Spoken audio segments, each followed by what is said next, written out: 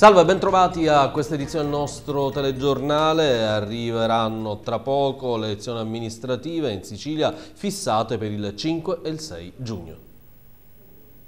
Si svolgerà il 5 6 giugno il primo turno delle elezioni dei sindaci e dei consigli comunali in Sicilia. Il 19 e 20 giugno si terrà l'eventuale turno di ballottaggio. La decisione è stata presa nel corso della riunione di giunta. La data è stata scelta in modo da farla coincidere con quella delle elezioni amministrative che si terranno nelle altre città d'Italia. Approvato anche il piano di ripartizione dei finanziamenti a favore delle scuole di servizio sociale che riceveranno la somma di oltre un milione di euro. Si vota a Sortino, le Valentini, Ferla e Noto. Via libera ai tirocini relativi ai giovani che hanno partecipato validamente alle selezioni del Click Day del 14 luglio e del 5 agosto 2014. Questa prima fase riguarderà 800 ragazzi, con la previsione di aprire a breve la selezione per la terza finestra.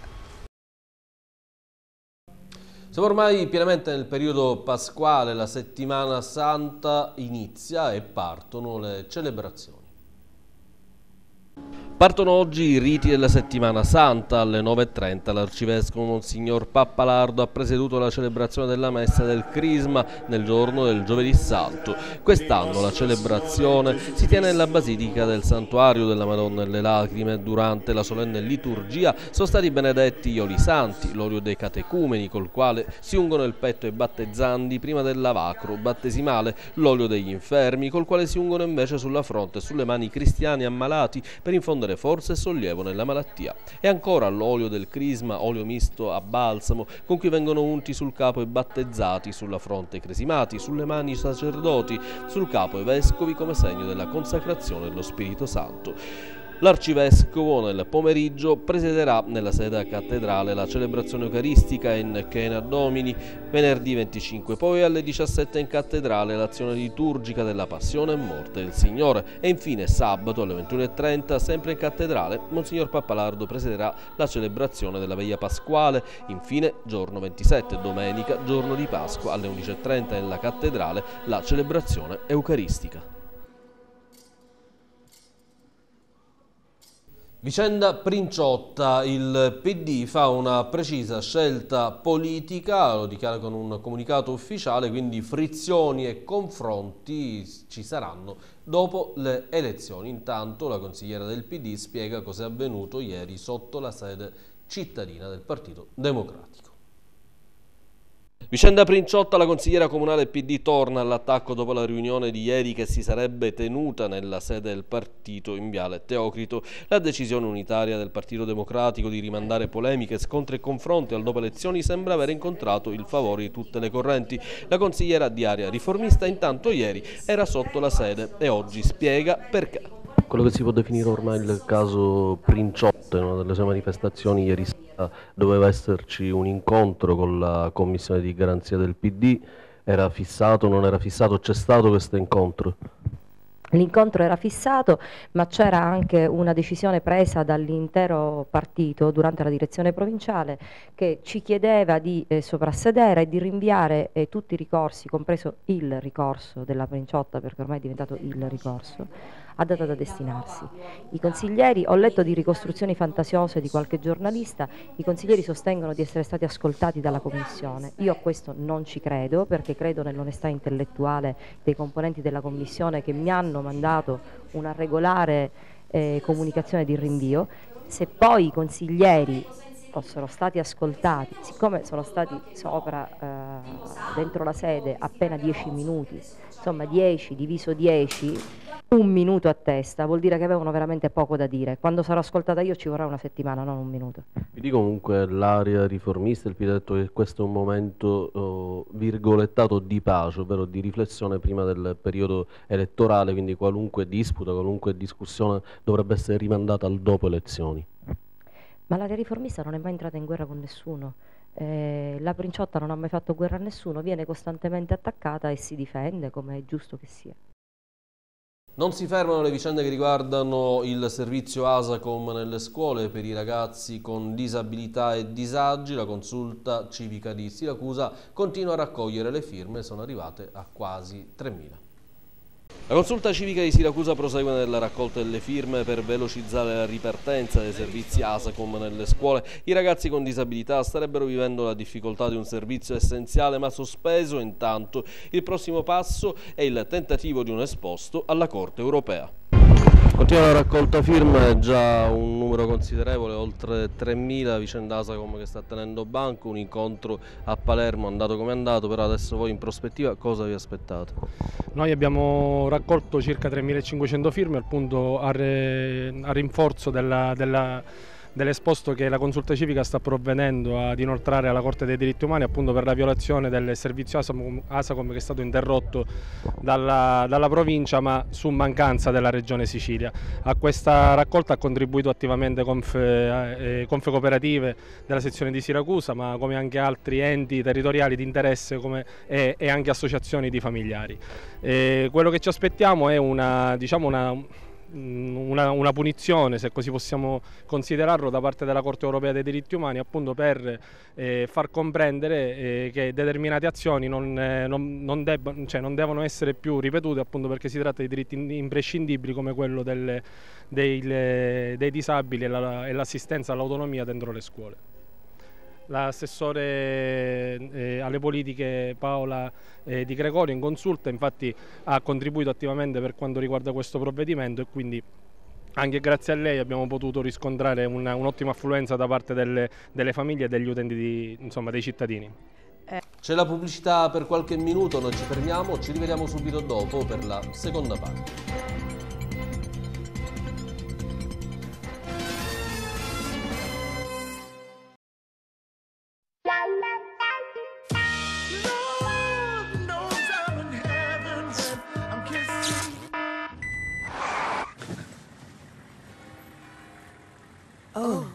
Nuovo Oh da Opel.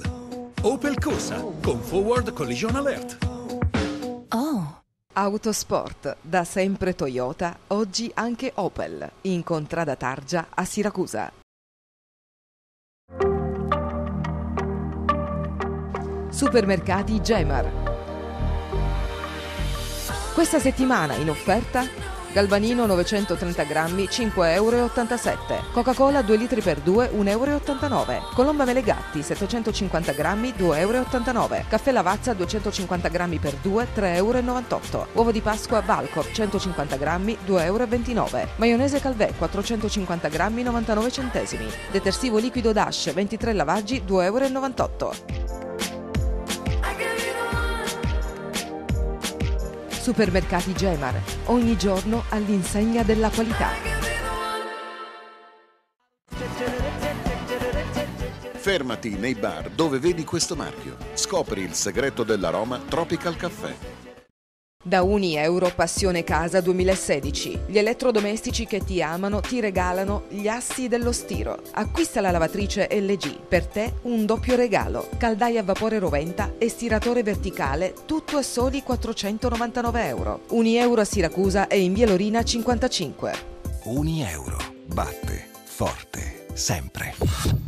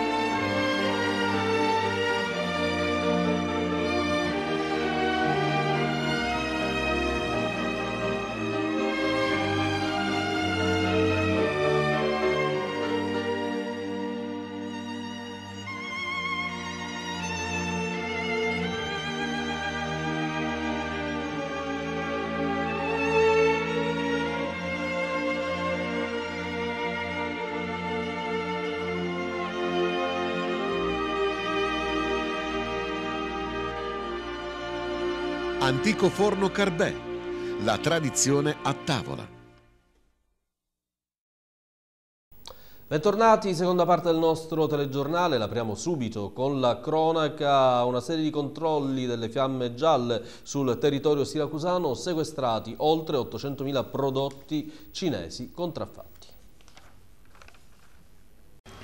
Giro di vite della Guardia di Finanza di Siracusa contro il fenomeno dell'illegalità fiscale ed economica e a tutela della salute pubblica. Nel mirino delle fiamme gialle le attività commerciali gestite da cinesi. Sequestrati in tutta la provincia di Siracusa 814.443 prodotti contraffatti. Verbalizzata una persona per violazione della normativa sulla privacy, mentre per un'altra è scattata la denuncia per contraffazione marchi. Individuati anche quattro lavoratori in nero. L'attenzione dei finanzieri si è concentrata anche sui prodotti non conformi agli standard e quindi potenzialmente potenzialmente dannosi per la salute degli acquirenti. La merce infatti era priva delle certificazioni previste dalle normative dell'Unione Europea. Le apparecchiature elettriche, caricabatterie, dispositivi per la cura della persona e accessori per la telefonia erano infatti prive di istruzioni in lingua italiana, senza la spiegazione delle modalità di utilizzo e assemblate con materiali scadenti. I titolari dei negozi in cui sono state rilevate le irregolarità, sette negozi con sede nei comuni di Siracusa, Augusta, Lentini, Noto, Avola e Pachino, tutti di nazionalità cinese, sono stati segnalati anche alla Camera di Commercio di Siracusa per le violazioni del codice del consumo, per le quali sono previste sanzioni fino a 2.500 euro, nonché per la successiva confisca e distruzione dei prodotti sequestrati.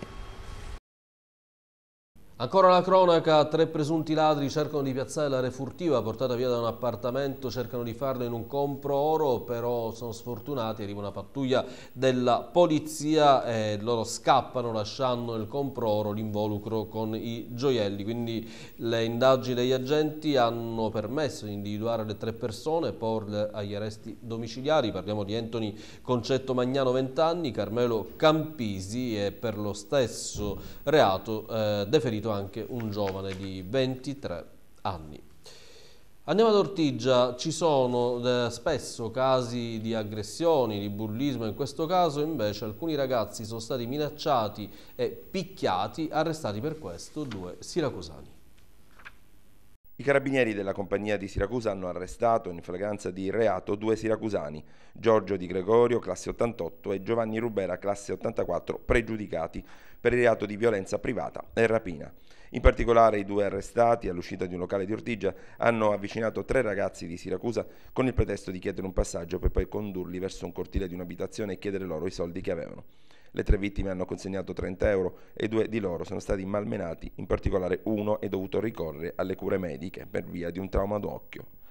I due arrestati, subito dopo questo episodio, si sono avvicinati ad un altro gruppo di ragazzi e hanno intimato loro di dare un passaggio. Inizialmente i malcapitati hanno rifiutato e subito i due, con fare minaccioso, dicendo che si sarebbero presi con forza la macchina, hanno convinto il ragazzo alla guida ad accompagnarli nel cosiddetto quartiere Bronx, dove uno dei due ha acquistato una dose di droga. I due arrestati infine si sono fatti riaccompagnare a Ortigia in prossimità della Porta Marina. I due gruppi di ragazzi, subito dopo gli episodi di violenza, hanno chiesto aiuto a due pattuglie dei carabinieri. I militari dell'arma sono riusciti a individuare gli arrestati e a sequestrare una banconota da 10 euro che prima era stata sottratta a uno dei ragazzi.